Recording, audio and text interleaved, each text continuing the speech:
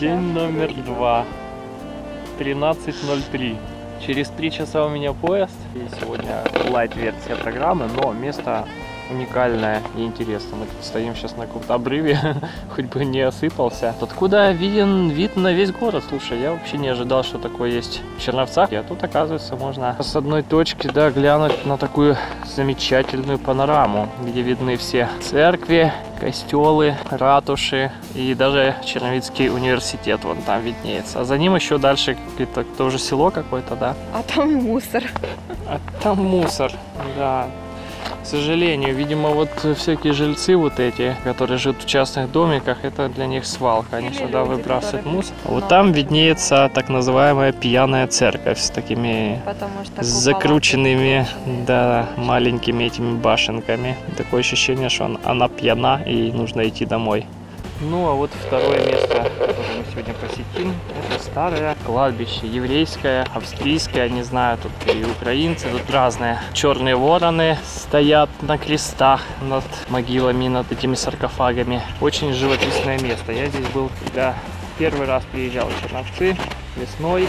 Мы еще заглядывали во многие склепы, они такие довольно в плачевном состоянии многие. Там через дырочки можно увидеть кости, черепа, прочее, прочее. Я даже фотографировал это. Но сейчас все под снегом, поэтому рыться мы не будем. Кладбищенг – это занятие на любителя, кто любит побродить по кладбищам старым готичным. Я не год, если что. Ты была готом, кстати, когда-то? Да, возможно. Ну, я чуть-чуть. так и думал. Кое-что. Да ладно, ты сейчас, Нотки. ты до сих пор Да ладно, проскакивают го- готичные всякие вещи. Алоис Леопольд, Сюзанна Леопольд, Людвиг и Гальфи какой-то, Кассилия Леопольд, Алоис Леопольд, Хильда Леопольд, Василь Стефан. Стефан и, Василь Стефан. Вот Василь. Всю статистику испортил. Недавно читал в интернете. Вот в Америке, когда происходят какие-то ураганы, там, смерчи, они их называют мужскими именами. Там Джонатан, Джексон, ну, я не знаю, там разные какие-то имена. Говорит, и- да, да, да, прочитал предложение, давайте и у нас тоже, когда какие-то катаклизмы происходят, называют это там Бур- бур- Опанас, Снегопад Петро, ну и прочие такие варианты. Интересно звучало бы. Ледвинка фон Андлерсфельс. Тут, конечно, очень плотненько все, так и реально очень много покосившихся, потому что за ними никто не смотрит. Там родственники, они живут где-нибудь в Австриях своих, в Венгриях или в Израиле. Может быть, иногда приедут так в гости раз в 10 лет. Но уж, естественно, они не страдают тут уборкой этих всех могилок. А что это? А, это этими значками кварталы какие-то обозначены, чтобы, видимо, тоже туристические какие-то гиды, чтобы можно было понимать, в квартале номер 54 вы можете найти могилу известнейшей Мигуновый рыжук Веры Ивановны. Вот, вот эта шубка из китайского Алиэкспресса, только без ушек. Так, а это что у нас? Это большой склеп, склепариус, склепариум. Да ну, ну смотри, вообще разваливается эти части, он подперли как-то. Реально, вот это я сейчас могу ударить, и оно упадет на меня причем. Что-то типа часовни какой-то, там алтарь, как крест, но используется как склад на сегодняшний день. О, тут уже протоптанная дорога. А то реально тут много снега вчера навалило, и он здесь не растаял, в отличие от города, где всякая чавкает уже под ногами, это все слякоть. Тоже, смотри, заслуженный діяч мистецтв УРСР, художник Дзерджик Корнелий Володимирович. С головой такой. И прям узнаваемый почерк. Смотри, Алина. Пудышин Руслан Иванович. Видно сразу, что пацанчик был четкий, на Мерседесе, в кожаной курточке. Живым тебя представить так легко, что в смерть твою поверить невозможно. Как много твоего осталось с нами, как много нашего ушло с тобой. Я думал, тут что-то по фене будет, а нет, какой-то обычный стишок. Он еще мог бы быть в спортивном костюмчике, а на самом деле. Бумер, бригада, Да. пожалуйста. Не могу это не снять. Моцная родина. Моцный Константин, Моцна Анна Ивановна. Тоже прикольное имя. Иван Вишиван. Это типа как Ивасик Телесик, Иван Вишиван. Симселябим. Мы тут пока обходим еврейское кладбище по периметру, потому что закрыты все входа и выходы, но наверняка это кладбище не отличается от остальных, потому что, как мы знаем, всегда парадные входы так строго закрываются, но сзади обычно даже заборов нету. Сейчас мы зашли с фланга, с правого, и увидели здесь вот такую деревянную церковь. Что? Только по воскресеньям и по праздникам. Угу. Ну, это работает, в смысле, открывают ее, там литургия он у них проходит.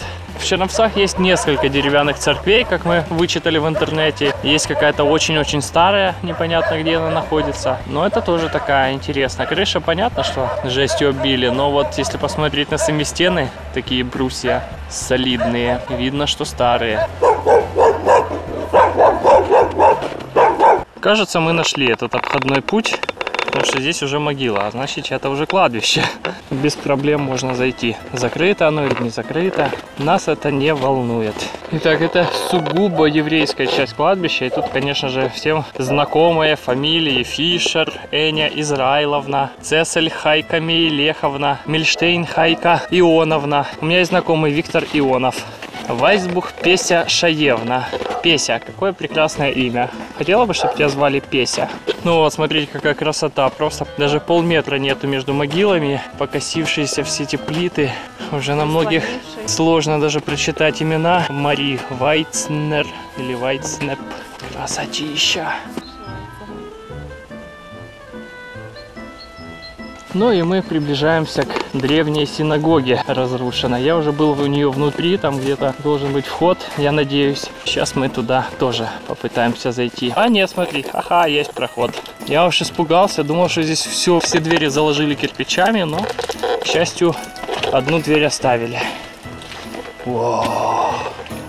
Вот это красота. Слушай, и здорово, что это место не превратили в общественный туалет, а как бы оно более или менее понятно, что оно в таком плачевном состоянии, но, но здесь остались вот такие всякие надписи, барельефы. Вот что-то по-еврейски написано. Сюда снег залетает даже через эти окошки. А? Э, Ух. Ну, чё же ему не быть-то?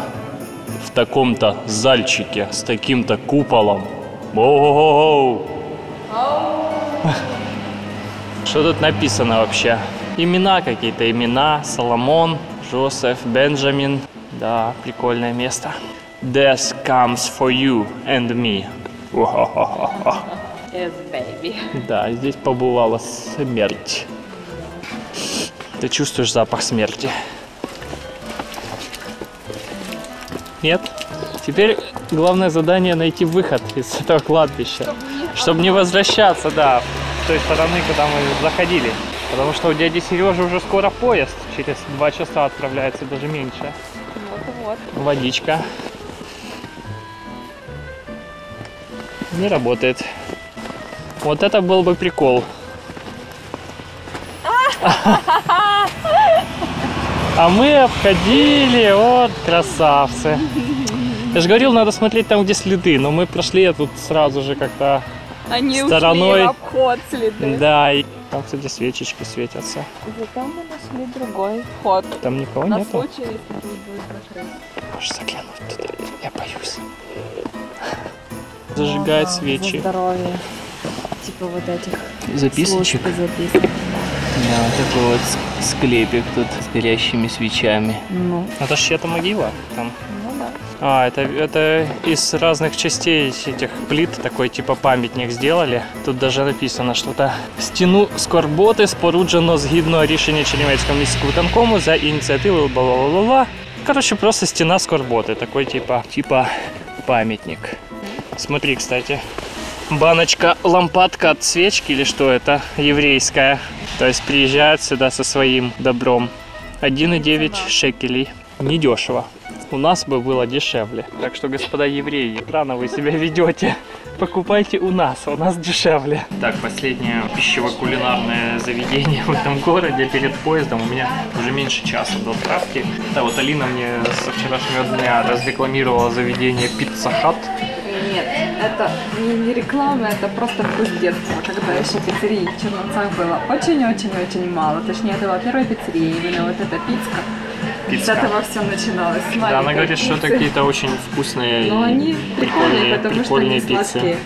Сейчас Да, с кальмарами причем. А это солянка. Не знаю, сейчас будем пробовать. А это салат с кальмарами, а это томатный сок. А у меня будет еще капучино, точно. не забыл. Мне приятно аппетита. Так, да, приятная аппетита линия. Кстати, место находится, их несколько, да, в Черновцах. Да, это это конкретно это прямо возле вокзала. Тут Самое. 100 метров ходьбы еще. Приятного аппетита.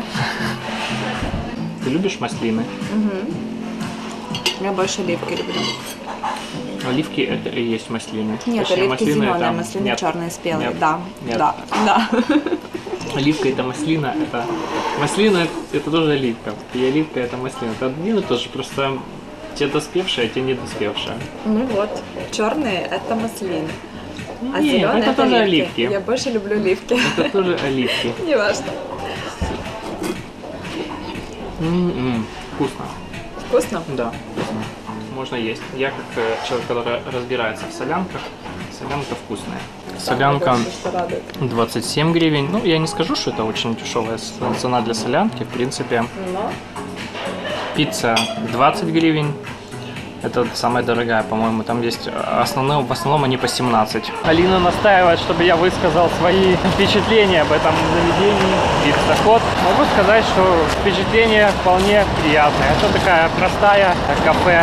Это не фастфуд, как бы там полноценные, можно разные блюда покушать недорого. Пицца вкусненькая, вкусненькая, да. сладкая? Сладенькая. Мягкая? Да, да, реально вкусная. Солянка тоже, так что капучино такой средненький, поэтому ничего такого я и не ждал, в общем-то, особенного в каком заведении. Это же не какое-то... многих заведениях. Вообще не капучино.